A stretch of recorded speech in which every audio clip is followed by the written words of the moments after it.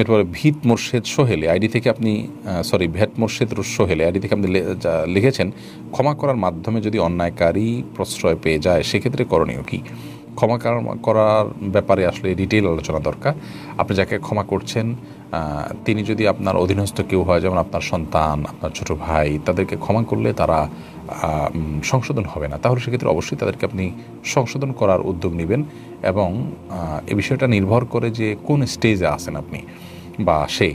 যদি প্রথম হয় আপনি ক্ষমা করলেন, এরপরে আপনি তাকে সংশোধনের সুযোগ দিলেন, এরপর না হলে তাকে আপনি শাস্তি দিলেন এই সবগুলো কিন্তু আমাদেরকে অবলম্বন করতে হবে পরিস্থিতি বিবেচনা করে।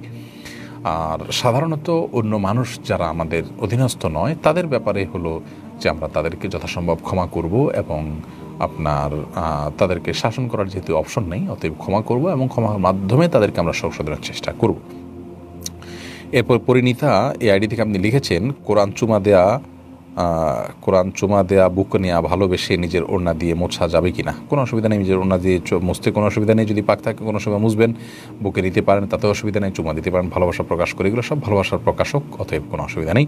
তবে এগুলোকে আলাদাভাবে কোরআনের জন্য করণীয়, অনেকে তেলাওয়াতের পরে বুকে নেওয়াটাকে মনে করেন এটা একটা কোরআনের প্রতি আমাদের করণীয় কর্তব্য এবং এটা একটা নির্দেশিত আমল। ব্যাপারটা এরকম না জাস্ট কোরআনের প্রতি ভালোবাসা থেকে আপনি বুকে চেপে ধরলেন, চুমু দিলেন, রেখে দিলেন, এটা করা যেতে পারে। তো মনে রাখবেন, কোরআনের প্রতি সবচেয়ে বড় সম্মান প্রদর্শন হবে তখনই যখন কোরআন নির্দেশনাগুলো দিয়ে আমাদের জীবনকে আমরা সাজাতে পারব, বাস্তবায়ন করতে পারব এবং কোরআনের আলোকে আমাদের জীবনকে গড়বো। আল্লাহ তালা সে তৌফিক দান করুন।